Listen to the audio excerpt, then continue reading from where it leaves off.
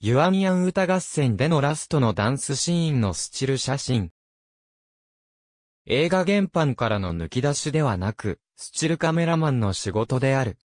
スチルカメラマン、スチールカメラマンは、映画を中心とした映像制作において、宣伝用の静止画写真を撮影する写真家である。日本語では、スチールマンとも言う。スチルカメラマンは、映画の撮影現場で仕事をする職能であるが、その仕事が作品の制作に直接関与することはない。通常は作品の宣伝チームに雇用され、ポスター、雑誌、新聞等のメディアで使用するための写真を撮影する。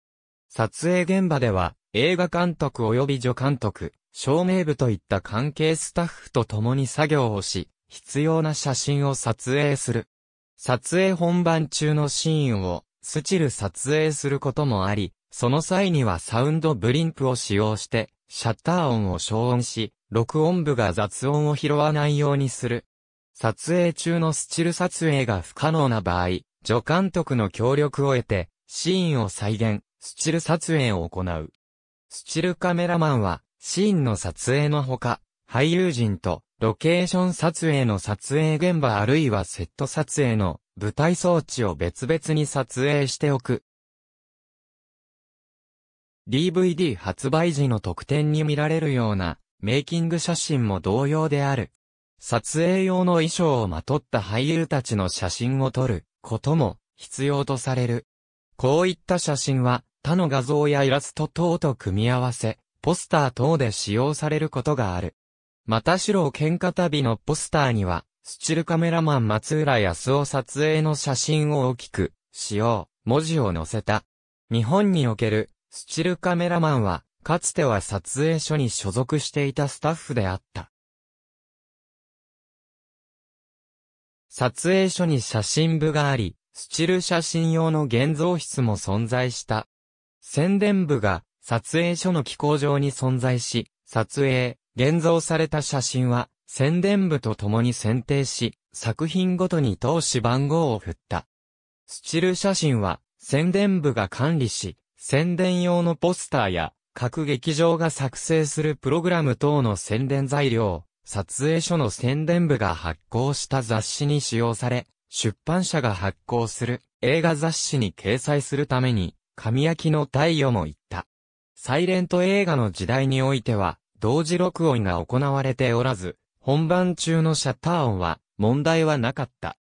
トーキーの時代になり、録音部が同時録音を行うようになってからは、シーンの撮影が終了した時点で、撮影現場、舞台装置において、スチル写真用の演出を、スチルカメラマンあるいは助監督が言って、スチル撮影は行われた。実際に存在しないシーンであっても、映画を象徴するカットであれば、監督やプロデューサー、宣伝担当と打ち合わせの上で演出して撮影した。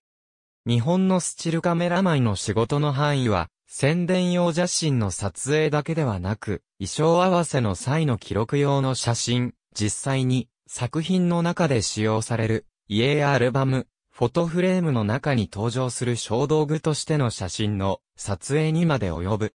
これらは衣装を担当するセカンド助監督、小道具を担当するサード助監督との打ち合わせのもとに行われる。1929年の牧野正造没後、京都の牧野プロダクションが発表した新体制の組織図には、組織上、写真部が存在し、写真部主任として、同社のスチルカメラマンである、松浦康夫の名が挙げられている。第二次世界大戦後、1951年、大映が京都に持っていた大映京都撮影所の組織図には、制作部宣伝課に写真係が存在し、撮影係長には、浅見勲則、スタッフには、戦前からのスチルカメラマン浅田信之助や斎藤館、一、藤岡照夫らの名が挙げられている。1960年代に日本の映画界は社用化の時代を迎え、撮影所の合理化の過程の中で、部門分社化、アウトソーシングを行うにつれて、徐々に各撮影所から社員あるいはそれに準じた専属契約のスチルカメラマンは1980年代までにフリーランス化が行われた。宣伝部も本社の営業部の機構になっていく。やがて、ポラロイド等のインスタントカメラや DPE の安価での普及により、衣装合わせでの写真撮影は、助監督や衣装部が行うようになっていた。専業の職業的、スチルカメラマンよりも、音楽雑誌等のカメラマン、写真家らが、副業的に撮影の現場に入ることが増え、昔ながらのスチルカメラマンによる演出の出番は、特別に設けられた、ポスター撮り、特写の機会に限られるようになり、本番直前のテスト、本番テスト時に、消音器を装着した写真機材による撮影で、ライブ感のあるスチル写真が求められるようになる。2000年代、ほとんどのスチル撮影用の機材はデジタル化し、スチル写真の提供の方法も、電子メール添付や登録制のダウンロードを各配給会社の宣伝部、宣伝会社から行うようになっている。カテゴリー、スチルカメラマンキネマ順法が運営するキネマ、順法映画データベースでは、スタッフ欄のスクリプターにスチルカメラマンが混同されて、表記、脚本家に分類されているが、これは誤りである。